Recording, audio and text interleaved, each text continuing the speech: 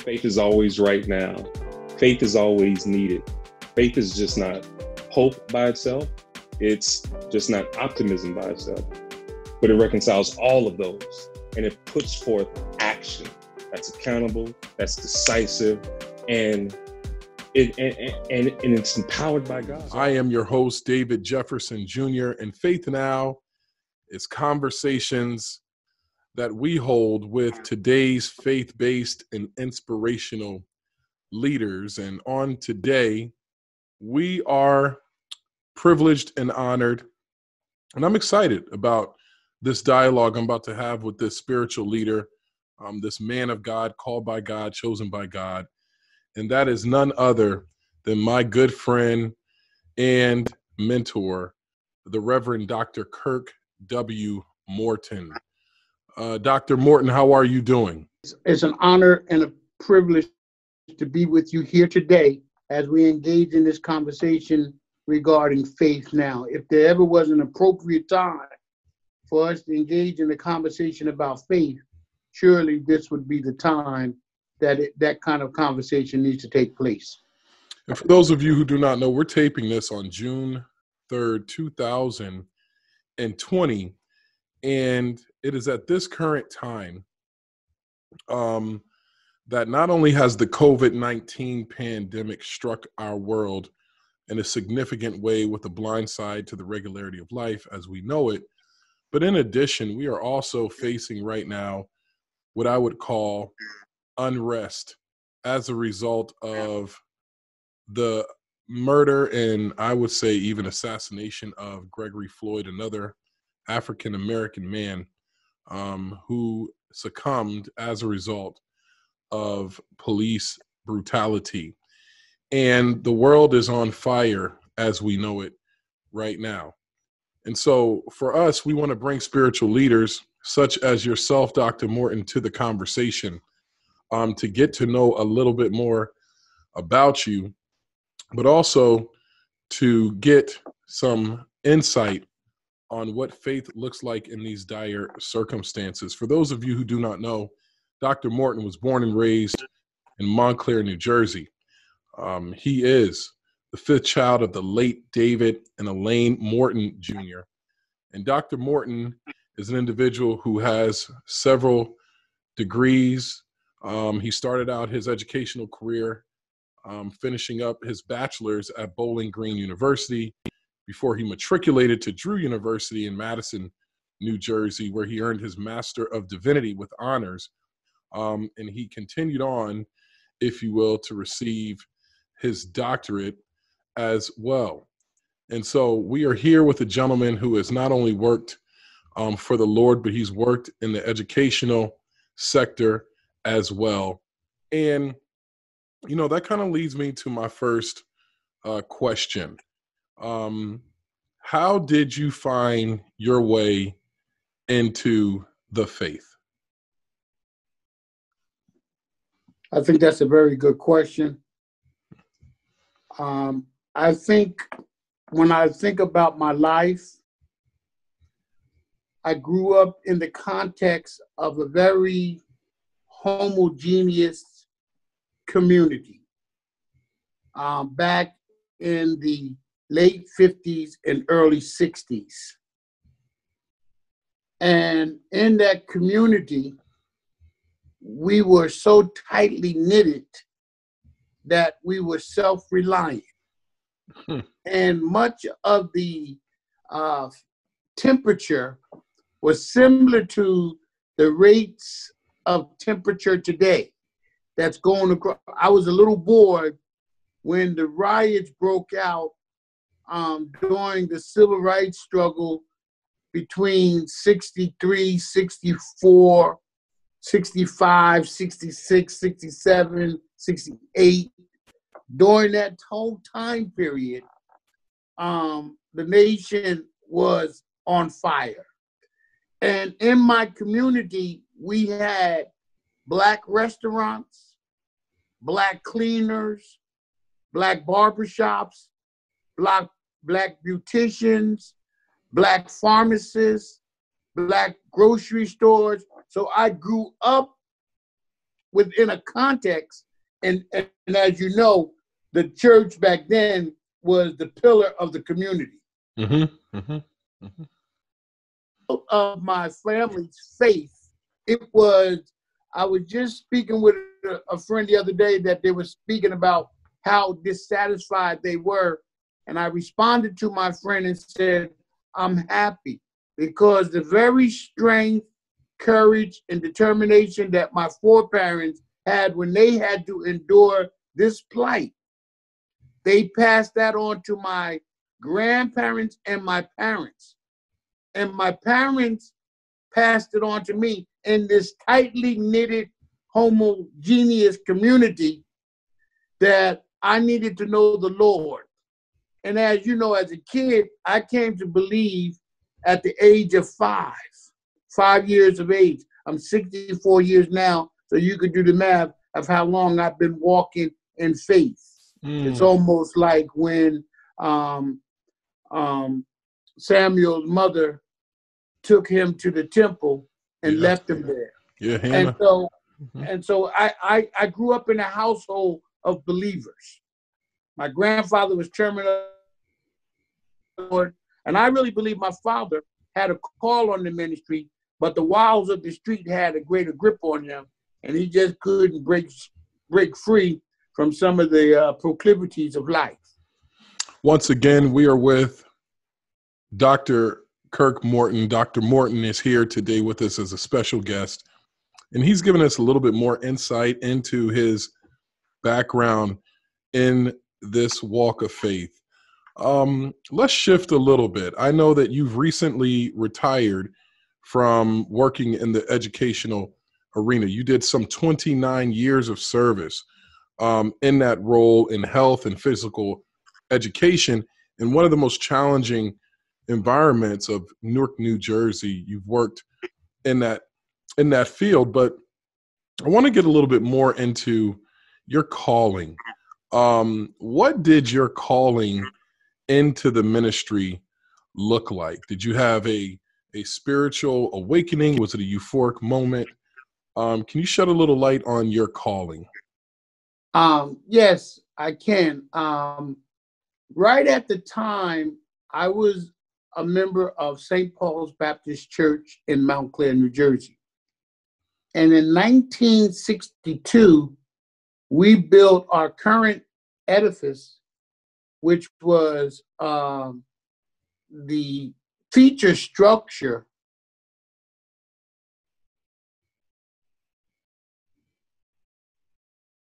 church on Hartley Street that we grew up from. And so we shifted. But at the time we built our new church, our current pastor was aging and became ill. And before he died, he brought to our church a young dynamic speaker by the name of Reverend Dr. Calvin G. Sampson. And when we were doing his installation service, and I was about eight years old at the time, he had an indelible impact upon me. And as I was sitting in service, paying attention to what was going on, I had a perceptual reality as I was engaging with the Holy Spirit that this is what God was lining me up to do and, and to be. Now, at this particular time, at eight years of age, my focus was on athletics. And so I didn't have no idea of what about anything about ministry, but I did idolize the young minister who was a dynamic, charismatic preacher, and he inspired me and in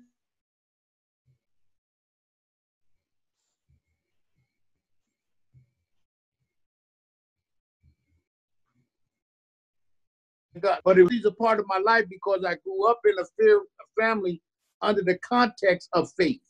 Mm. And so uh, it came about as a, a, a, perceptual reality for me. I didn't hear an audible sound. I didn't have a, a where you say somebody fall into a trance and I see things in the spirit. No, it was just a perception that I perceived that God was uh, speaking to me at that moment. And, and you and you state something that really stands out to me. you know, you were put in the space and place by those loved ones so that you were pretty much enveloped in the faith. Um, That's and, correct. And and what a difference we notice that makes. It seems to me like there was no choice for you, right? Like a lot of times today, parents, you know, give their children uh, a choice if they are to go to. Church, do you want to go? Do you not want to go? I don't know about you, but you know, I was on drugs at a young age. I was drugged to church. I was dr- drugged to choir practice. I was drugged to usher board meetings. I was drugged to um, deacon meetings, and I was just put in environments with my father and mother in the church that it became quite evident and clear that we were folks who were going to be in and around the Word of God. Um, and it sounds like that is what you know the plan was for you as well. Is that f- safe to say? Uh, unlike unlike you, where my father was not necessarily uh, a leader in the church, but mm-hmm. he had a profound impact in the community. So okay. our name, so our name meant something in the town. But mm. I went to church because I love church, and so I got up. I, all my life, I've always been in Sunday. If I'm in church now, I still go to Sunday school. I go to mm. Sunday school. I've taught Sunday school. I've led Sunday school. I did vacation Bible school. I've been. I was in choirs. I sang in a choir. So for me, it was more consent for me, something that I wanted to do. And actually, uh, outside of the Cub Scouts and the Boy Scouts, the church really helped to formulate my values, my mm. ethics, my morals. And um, so that I found the church to be a place of solitude and solace, a refuge. Once again, we're with Dr. Kirk Morton. He is a spiritual leader. He is a man of God. He is our guest on today with Faith Now. Uh, Dr. Morton, I want to shift here a little bit because you, you stated something. You know, churches, mosques, masjids, synagogues, they're often, and, and it is safe to say that they are community hubs, right? Yes. Um, how do you see, and from your perspective, how do you believe faith based leaders uh, can ensure reaching out to individuals during this disconnect um, as it relates to the social and emotional component of faith based institutions and what they offer? Um, you know, the Bible says, uh, forsake ye not the gathering and the assembly of men and women. And we see the importance of assembly. What what is your take now on the fact that we are not able to come together as a result of what has happened with COVID? Well, one of the things that I've always understood is that God is based on the premise that when he called Abraham, and Abraham received the commission from God that he was going to make him a great nation. Mm-hmm. And while Abraham was in the process of dialoguing with God, God elevated him to not only become the father of Judaism, who would be coming after him under the line of faith, he said, I'm gonna I'm gonna change your name to exalted father.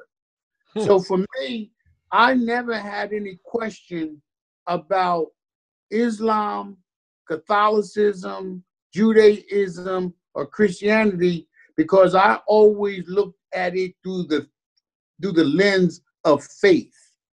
And if you look at Revelation uh, 7 and 9, um, where John received the revelation from Jesus, he says, at the coronating ceremony of Jesus Christ, there will be every nation, kindred, people, tongue at that ceremony. Hmm. And oftentimes when when there became that great divide in the urban community among African Americans, when people split off and became Muslims I remember that period very well. Now, I always liked um, Louis Farrakhan. I always liked um, Malcolm X, but I was a staunch supporter of Christianity and the work of the late Reverend Dr. Martin Luther King. But any of those three men, when I heard them on the radio, I was attuned and attentive. Now,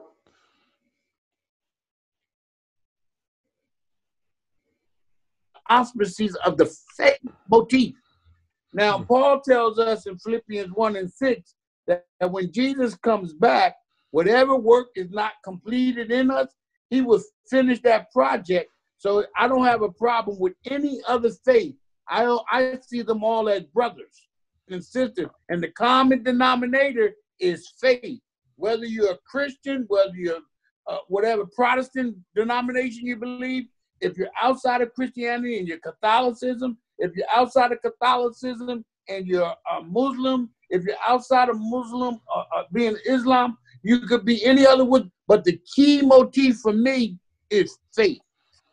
ladies and gentlemen, we're with Reverend Dr. Morton, and he is sharing his emphasis as it relates to faith now. We're having a wonderful dialogue with him.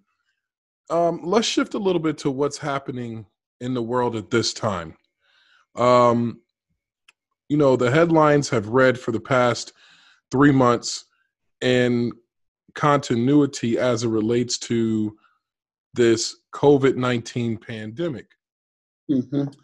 And so as a result, um, you can see how the world kind of here in America, particularly, and all around the world, but here in the United States of America, things have shut down. But then most recently, um, the headline shifted.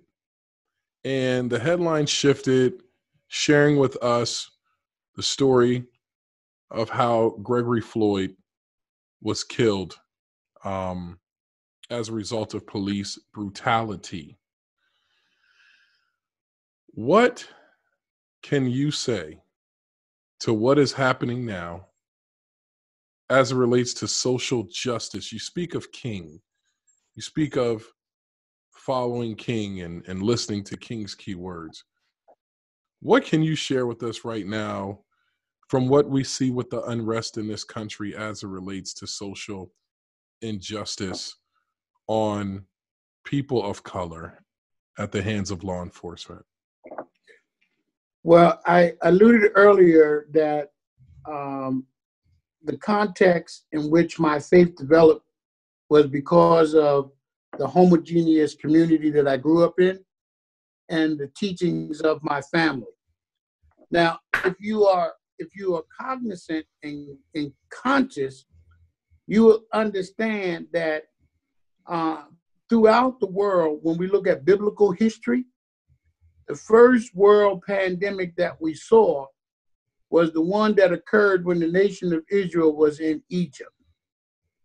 And God brought the plagues upon the Egyptians to demonstrate to the Israelites how powerful he was as El Shaddai. Now, you must understand, uh, Reverend Jefferson, that since 1720, every hundred years, we've experienced a pandemic in this country. In 1720, it was known as the plague. In 1820, it was it was the Spanish flu. And in 2020, we now call it the corona COVID 19 pandemic. And I believe that in this pandemic, God is telling us, as He tells us in Isaiah 26 and 20, to stay inside your house, as He instructed Ahab when the nation of Israel came to um, Jericho, and He told them that everybody who's in the house will be saved. Make sure you keep this rel- this um, scarlet rope hanging out the window. And if anybody in your family is outside of the house, we can't cover for them. He said to the nation of Israel during the pandemic, stay in your house.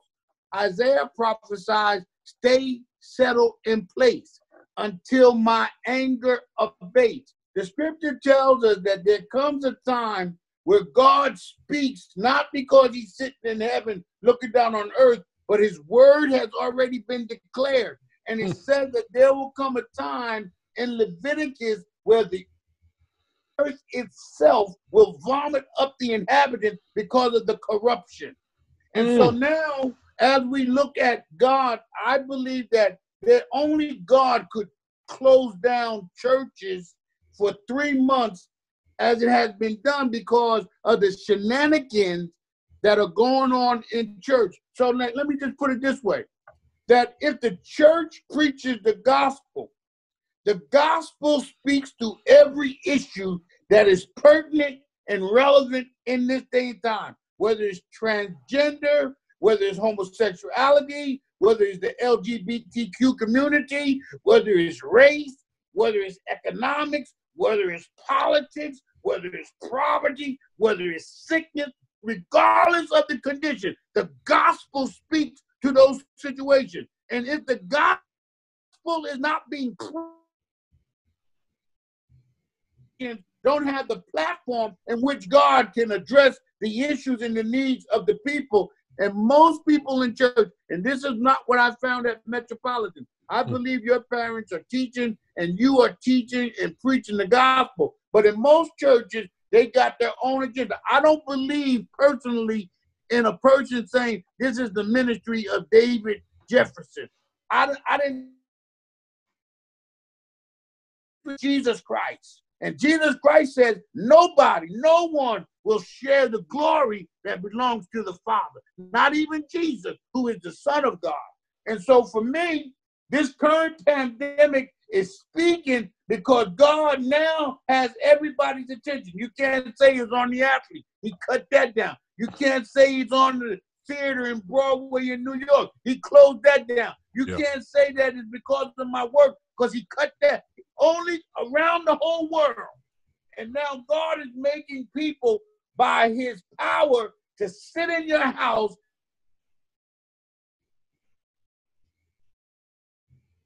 Bible says, raise them up in the way in they should go, in the fear and admonition of the Lord. So for me, I see the pandemic as a move of God by his sovereignty and his omnipotence and his omnipotent power being omnipresent at the same time. And there's more prayer going on now than you go back to Second Chronicles 7 and 14, where he says, If my people who are called by my name should humble themselves and pray and seek my face and turn from their wicked way, then will I hear from heaven and I will heal the land. God has the ability, God has the power, but are we going to lift up the name that's greater than all names on the earth? And that name is Jesus. Jesus the Christ.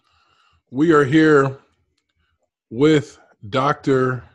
Kirk Morton, Reverend Dr. Kirk Morton, and he is our guest on today. A man called by God and led by God. This is a gentleman who has served in roles as a pastor, he served in roles as a chaplain. Um, we know the years that he has put in with Cathedral International Church in Perth Amboy under the leadership of Bishop Donald Hilliard II. We're also aware that this is also a man of God who served as a pastor elect in Plainfield, New Jersey. And so to speak with someone, a sage such as him, who has been on the battlefield for a long time, it it really speaks to, I would say, the type of spiritual leader we want to have on this show uh, to share about their walk with Christ. Um, let's talk about King for a minute. Uh, I want to I want to lean on King. A lot of a lot of folks, you know, when we bring up King, we like to bring up the King that is like the Lamb. Uh, we see a King who allowed individuals to throw rocks at him without retaliation, and a gentleman who speaks about everyone coming together. However, there was the radical king. Um, and that is the king that I think the media and individuals lose sight of. And that was a king um, who was able to see, and we see this upon the precipice of his, his assassination, that he was pushing more for equality as it related to the economics of the people. When he shifted to that that particular dialogue, it was then that he was snuffed out. Um, what is it that you glean from Reverend Dr. Martin Luther King Jr. Um, as he looked at what the ills of society were, and then how, toward the latter part of his life, he was very aggressive in addressing that. And do you believe it's it was timely then, and is it timely now? I think that's a very good question. I think that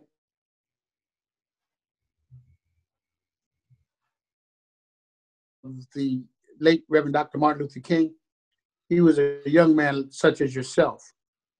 And he came and he was thrust upon the national scene as a young man. He could have chosen to do anything else.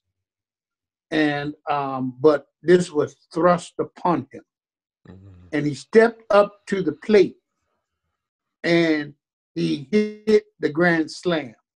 And one of the things that I admired about him. It was the bottom of the ninth inning, and we were down by a run, and the bases was loaded. He represented lives the word of God.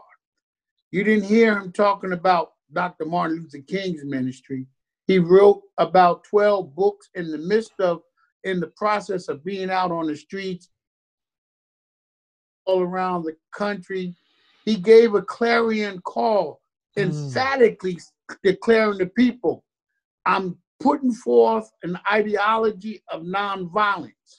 And so you can see the, the footage of the live um, abuse of police officers in Alabama and in Texas and in Mississippi, uh, where there was uh, systemic racism but mm-hmm. his commitment to the word of God and to the power of the Holy Spirit gave us that, that unity that unified this nation that caused other groups of faith to join in with us, such as our Jewish brothers, our Catholic priests, and all other denominations uh, fell under that umbrella and one of the things that I admired most about the radicalism of Jesus Christ, it comes out in Howard Thurman's book, The Spiritual Disciplines, when he talked about Jesus and said there's no greater humiliation than self humility. And one of the things that Martin Luther King exemplified boastful, he wasn't arrogant, but he held his position according to the word of God. He allowed the Holy Spirit to direct them. And any and every time, as leaders, we stay under the auspices of humility, we're heading in the right direction of the cross. Once again, we are with the Reverend Dr. Kirk Morton, a spiritual leader to say the most, not even the least. This is a man of God called by God, and he's given of his time uh, through decades of ministry, um, serving in the capacity of chaplain and serving in the capacity of pastor and serving in the capacity of leader. But most importantly, uh, this is a gentleman who leads by example. And, you know, this is my show, so I can say what I want.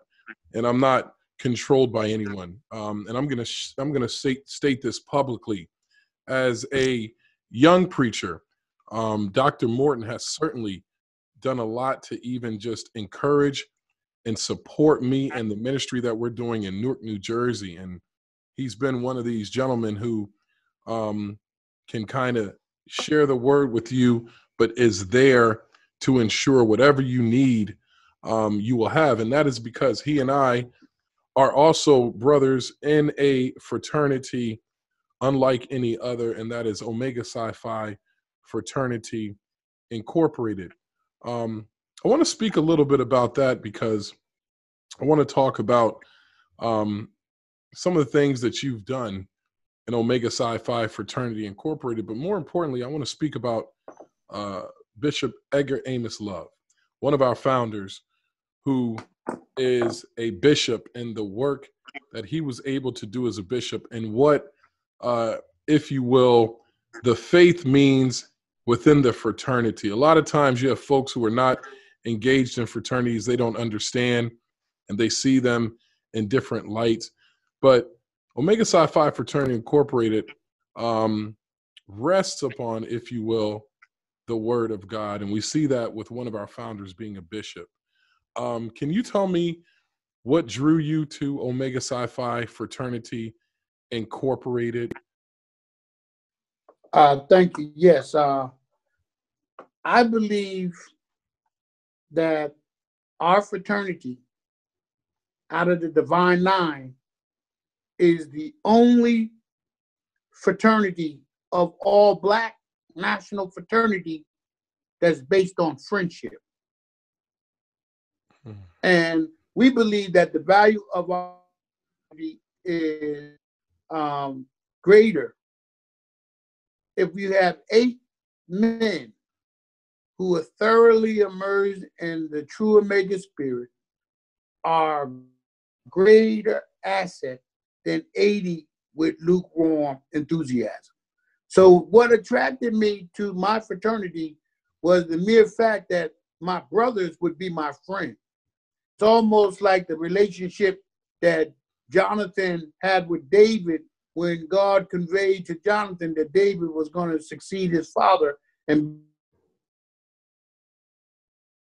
relationship that was greater that even when Jonathan against the Philistines, that David brought Jonathan's son to his own table, Mephibosheth, mm. and Mephibosheth was lame and sat at the king's table. So for me, friendship. And then the second thing that we are we are we are focused on cardinal principles of manhood, scholarship, perseverance, and uplift, where we want to go into our communities and be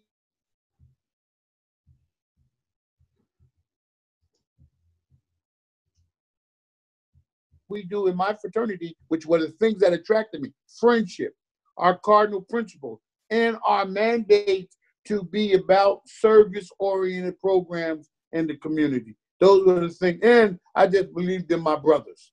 And I and when you look at Bishop Love and think about what he was doing back at the turn of the century, mm. it's phenomenal to see the impeccable scholarship and what they exemplified as a fraternity on Howard University, whether you talk about uh, Cooper, Coleman, or Just,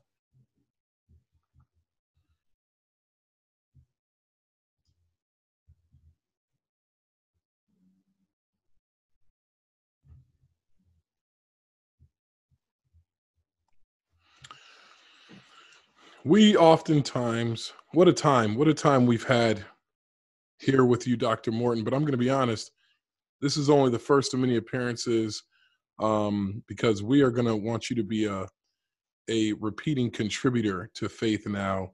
Um, and so i thank you for your time for this for this podcast and and sharing this word and and, and grounding us. You know the title of the show is faith now. Um, and I oftentimes give my guests an opportunity in a minute or less to share with me what faith now means to them.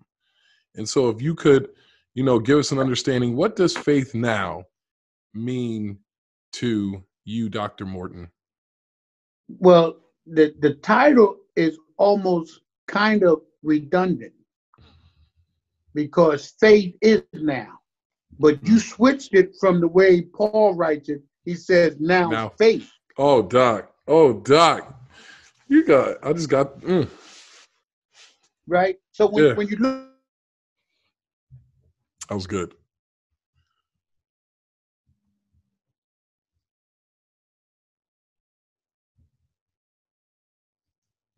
substance because faith becomes the substance. And not only is faith the substance, but faith is the evidence and the hope. So when you look for tomorrow, you need hope. And one of the things that the world tries to do is rob you of your hope so that it can destroy your faith. So if you don't have anything to look forward to tomorrow, your faith has been depleted. But God gives you faith when He says in Lamentations 3 and 22, I give you new faith every morning. So you never run short. God's faith is replenishable. Even if I exhaust all my faith from yesterday, He gives me new mercy. I think that one of the problems that we are facing now, because He gives us faith, and wherever there is no evidence of faith, there's no substance. But Mm. where there is substance, there's hope. So it's almost like the, the, the widow who had just a little crude in her oil. And Elijah said, Feed me first, and then, and she never ran out because of Elijah's faith. So she just kept pouring.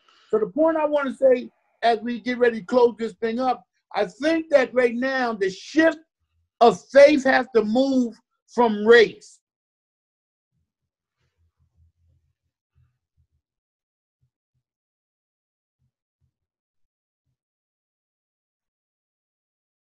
Black Lives BLM is really that important because we're not fighting a race issue. We're fighting an ideology, which is a belief. Race is an attitude, That's right. but ideology is a belief. And Mm. so this thing has lied dormant for 50 years now. And as a result of the presidency of Barack Obama, it has raised its ugly head, even though it was never dead. So we need to speak the truth of the gospel that we're fighting in ideology and not about race, because the Bible already said every nation, every kindred, every tongue, every people is going to be at the coronating ceremony. But your title is right. You must have faith. Faith is now, right now. And when the moment you have faith, that faith can be converted to hope that you can face whatever situation you have tomorrow. And this is what our foreparents, our grandparents, and I heard your testimony about your grandmother and what she meant to you and how she instilled in you to get to the place where you can make a decision for yourself about your own personal faith. I, I did a funeral just on Monday. Hmm. one of the one of the one of the great men that I really admired, and I told the people, death is not the end of life, as we know as believers, and death is not the greatest tragedy. The greatest tragedy in life is dying without hope and without Christ, because the, the life goes on in the spirit but you can only make a decision with your faith now because once you depart, it's indelible. You can't change it. And so, if we're going to fight the battle of race, we're fighting the wrong battle. But if we want to fight that demon of ideology, which is a belief system, we got to convert people from uh, inferior belief system to know that they're only talking about things. And what, what does Mark tell us? What does it profit a man? to gain the whole world Lose a soul. and lose his soul. Because Mm. all of us are destined for death. But in Christ, there is no death, as he said to Martha and to his disciples. He's not dead, he's asleep. And his disciples misunderstood him and said, Well, he was asleep, Lord. He'll wake up. He had to say, No, he's not asleep, he's dead.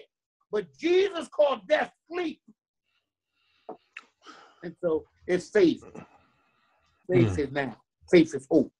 And when you got faith, you got substance. And when you got substance, you got evidence. And all you have to do is use the word of God, trust the Holy Spirit, and stay humble, and God will exalt you. Because he says in First Peter 5 and 6, humble yourself under the mighty hand of God, casting all your cares on him because he cares for you. So what we got to learn how to do is humble ourselves before the master. And he is the King of Kings. Dr. Morton, I want to thank you for joining us. We are going to continue to keep track of the work that you are doing in the spiritual and faith based sector. We appreciate you. Keep doing what you're doing. And to my audience, if you have not been moved by the words that have come forth, I want you to notice that Dr. Morton rarely stated his opinion. He leaned on the word of God. And so I thank you all for joining us. And until we see you next time, remember as always, your faith is right now.